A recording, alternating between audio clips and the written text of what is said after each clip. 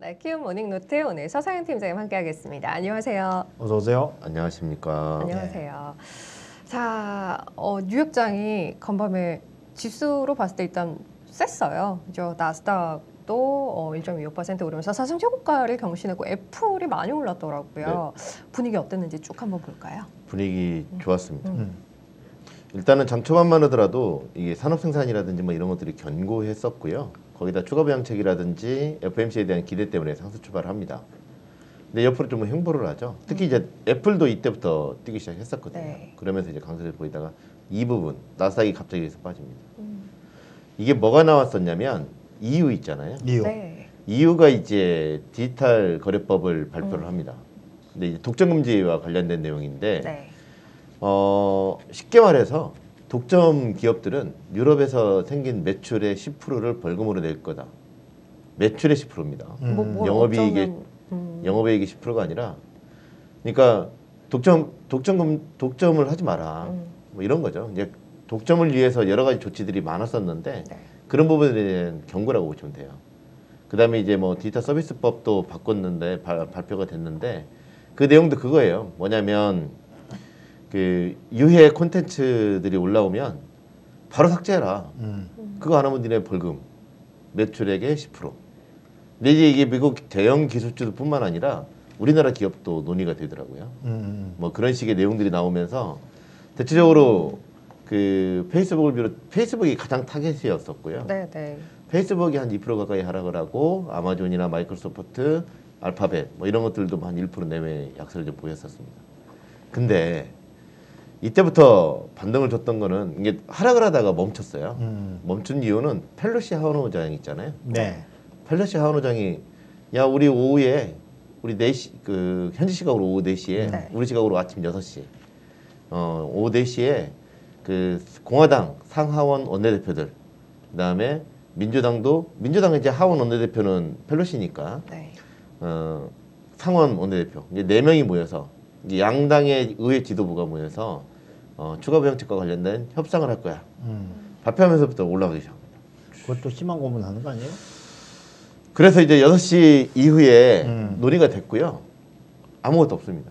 어, 뭐 나온 내용이 없더라고요. 네. 음. 일단은 뭐 계속적으로 논의 열심히 하겠다. 음. 이 정도 선에서 끝났고요. 이 사람들이 밥값이 떨어져서 밥 먹으려고 모였나? 음, 그러게 말입니다. 아무튼 뭐 그럼에도 불구하고 시장은 계속적으로 합의가 될 거라고 생각을 하고 있어요. 왜 그러냐면 펠로시 하원의장도 그 얘기를 했거든요. 뭐냐면 지금 시- 정말 시급하다. 네. 이게 19일 날 이번 주까지 끝내지 않으면 그 26일부터 그 성탄절 이후에 26일부터는 이제 1,200만 명에 대한 그 실업급여가 중단이 되고 그다음에 내년으로 넘어가게 되면 뭐 여러 가지 이제 퇴거 명령, 퇴거 문제라든지 그다음에 3월 말 이후에 4월 달부터는 학생 그 학자금 대출 있잖아요. 네. 이런 것들에 대한 문제가 좀 생기거든요. 음. 예, 그러다 보니까 정말 문제가 좀 있어요. 음. 워런 버핏도 이날 짜놓고 나타나가지고 이때쯤 나와가지고 그 얘기를 합니다. 중 소기업들 어 제출 빨리 그 급여 보호 프로그램 있잖아요. 그거 적극적으로 진행하게 해라. 그 너희들이 지금 계속적으로 이거 의회가 행동을 하지 않으면 미국 경기가 좋아지고는 있다라고 하지만 이게 다시 위축으로 돌아설 수 있다라는 점. 음. 이제 그러다 보니까 이제 시장에서는 어, 당연히 합의가 되는 걸로 생각을 하고 있는 거예요. 음. 그리고 맥, 그 맥코넬도 음. 그 계속 나왔던 내용. 얼마 전에 펠로시가 먼저 그 얘기를 했었거든요. 합의가 되지 않으면 우리 휴회 없어. 연말에 음, 휴회. 연말까지 휴회 없어. 원래 지금 휴회 기간이거든요. 네. 지난주까지가 그 끝나고 이번 이번 주부터는 휴회 휴회 기간이고 내년도 1월 3일 날 이제 새로운 의회가 이제 구성이 되면서 이제 다음으로 이제 회기로 넘어가는데 이제 그 전까지 이제 계속적으로 논의가 되는 거죠. 근데 문제는 이게 이제 연 연임을 한 의원들도 있지만 떨어진 사람들도 많잖아요. 네. 음. 근데 그 사람들은 지금 그러게요 막판까지 어떻게 할 것인지 좀 지켜봐야 될것뭐 같습니다. 크리스마스 보내러 가겠죠.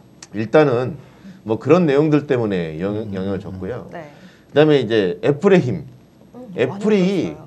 급등을 했어요. 5% 넘게 상승을 했는데 애플의 상승은 이거였습니다.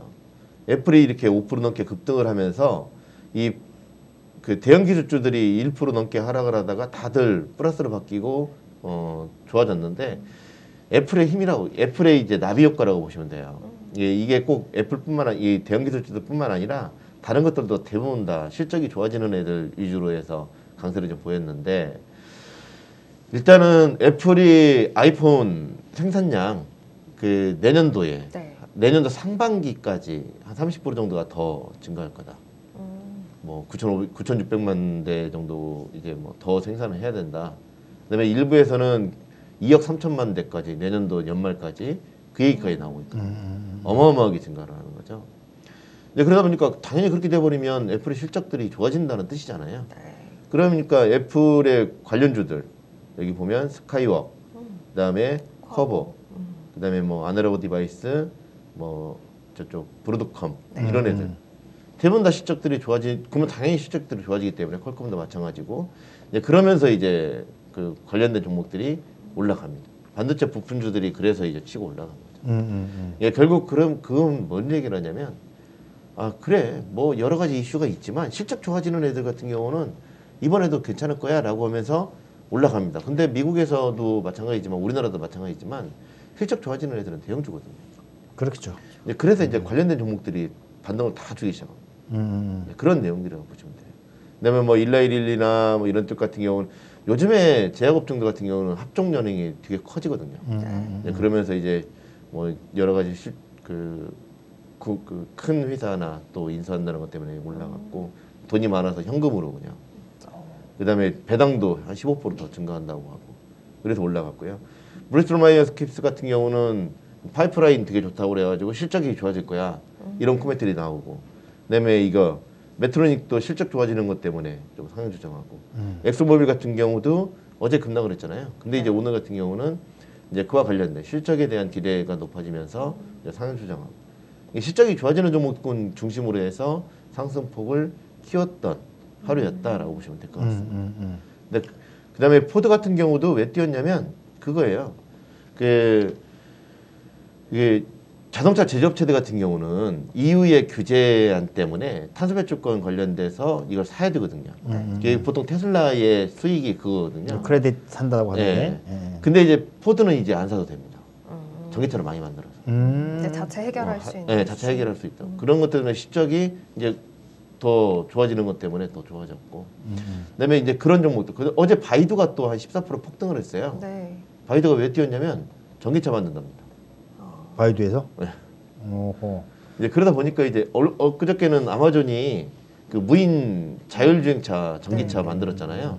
그 어, 보여줬는데 그러면서 이제 아마존도 좀 튀었었거든요. 음, 음, 이제 음. 그런 내용들, 그러니까 곳곳에서 이제 전기차를 만들고 있기 때문에 어 그러면 경쟁이 심화되죠. 음. 이제 나중에 그렇게 되면 가격도 싸지고 뭐 이런 것들 때문에 물론 이제 우리 전기차 하면 테슬라잖아요. 음. 그래서 테슬라 같은 경우는 경쟁 심화 때문에 어, 어제 한 1% 정도 빠지고 음. 최근들은 많이 올라왔으니까 좀 일부 매물이 나온 것도 있지만 뭐 그런 내용들 결국은 실적이 좋아지는 종목들 중심으로 해서 상승을 했던 게 어제 미국 증시의 특징이라고 보시면 돼요.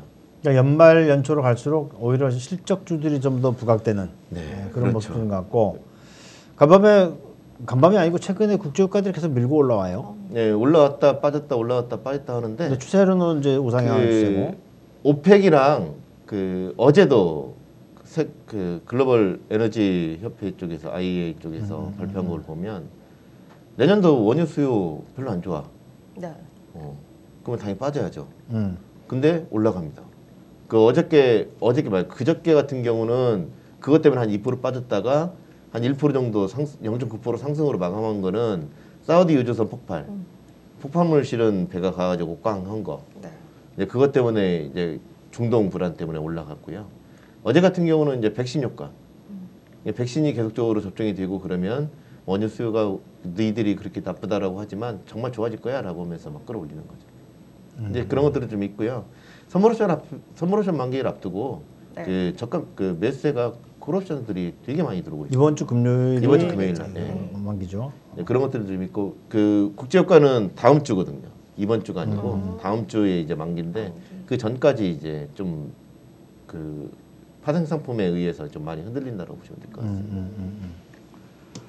자 그리고 이제 연말 쪽으로 이제 들어가고 있는데 특별히 특별히 FMC를 제외하고 뭐 FMC는 우리가 좀 계속 봐야 되는 거니까 어, 그밖에 남아 있는 쪽에 그 중요한 일정들이 있어요. 뭐 브렉시트는 물 건너간 것 같고.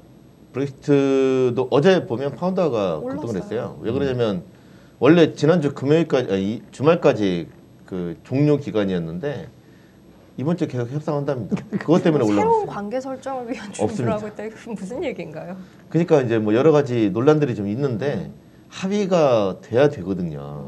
합의가 안 되면 영국 파, 이게 파운드 안에 많은 투자은행들은 뭐라고 하냐면 파운드 안에 지금 현재 파운드화의 가치 안에 브렉시트가 타결될 것이다라는 게 대부분 반영이 돼 있다. 네.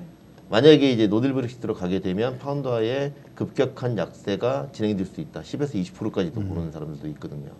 그건 어마어마한 거잖아요. 외환 시장에서는. 음. 뭐 그런 내용들이 좀 나오고 있는데 아직까지는 좀 봐야 될 것 같습니다. 그 혹시 연락이 되면 나 죽고 난 다음에 지금 브렉시트를 하려면 안 돼요? 아, 혼란스러워서 죽겠어. 뭐 몇 년 후에도 또 계속 나올 것 같습니다. 그다음에 뭐 이번 주 이제 추가 방책은 계속적으로 얘기가 될 것 네. 같고요. 어, 주 중반 이후부터 본격적으로 연, 그 얘기가 된다라고 했기 때문에 좀 더 지켜봐야 될 것 같고 음, 음. 그 안에 이제 같이 해야 되는 거는 이번 주 주말까지 또 일주일 연기한 연방 예산안 아, 음. 그것도 18일까지죠. 연기를 해야 되거든요. 음, 그거 연기하지 않으면 또 셧다운 나오거든요. 음. 그런 것들 때문에 어, 뭐 전반적으로 시장은 주변 여건들은 다 무시 지금 현재. 주변 여건은 다 무시하고 이게 주변 여건들 중에 주가 지수 올라가는 종목 그 이슈들. 음, 아, 백신 접종. 근데 이제 그게 안전성이라든지 이런 것들은 상당히 지금 논란들이 좀 일고는 있지만 뭐 그럼에도 불구하고 계속적으로 그 접종을 확산시키면 어, 경기가 내년도에는 괜찮아질 거야 다 알고 있는 사실이고 음. 반영이 다 되고 있는데도 불구하고 그거 가지고 끌어올리고 있죠.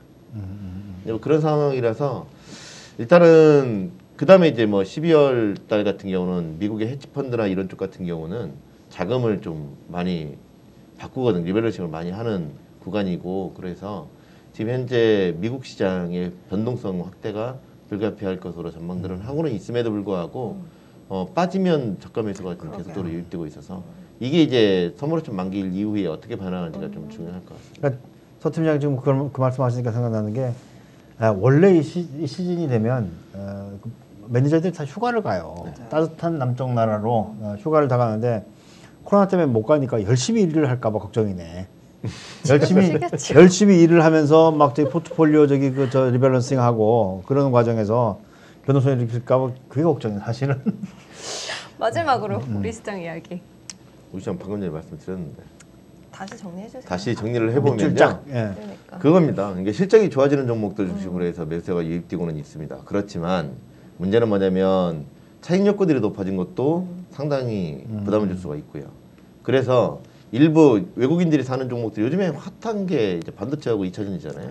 그와 관련된 종목들 같은 경우는 좀 더 올라갈 수는 있겠죠. 거기다 애플 관련주들도 강세를 좀 보이고. 근데 어, 시청자분들이 관심 가져야 되는 거는 이런 대형주보다도 코스닥의 중소형 종목들 음, 이 변동성이 더 훨씬 더 좋거든요. 음. 네, 그래서 장 초반만 장 초반 보고 뭐 크게 상승하는 종목들 중심으로 해서 뭐 크게 상승한 종목이 아니고 관련된 뭐 수급을 이제 받을 수 있는 수혜를 받을 수 있는 종목들 같은 경우는 장중에 좀 반등폭을 좀 키울 수 있기 때문에 관련된 종목이 좀 주목할 필요가 있을 것 같습니다. 시기적으로 보면 이제 그 내년 1월 효과를 저기 그 겨정해서 중소형주 중에서 좀 똘똘한 애들 어, 관심 가져야 될 때는 맞는 것 같고 우리 저기 그 연말 자료에서 어, 내년도 그 코스피 밴드를 얼마나 잡아놨죠?